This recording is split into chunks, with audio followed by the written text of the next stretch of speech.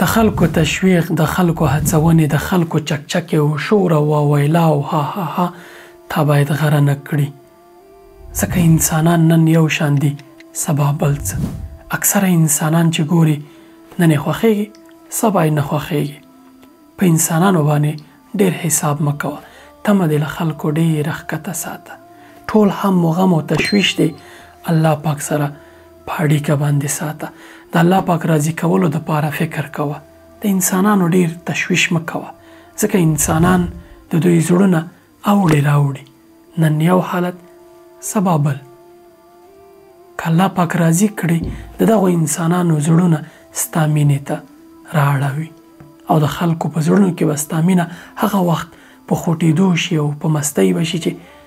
کله تا الله پاک راضي کړي او الله پاک ته ګران شي دا یو راز دی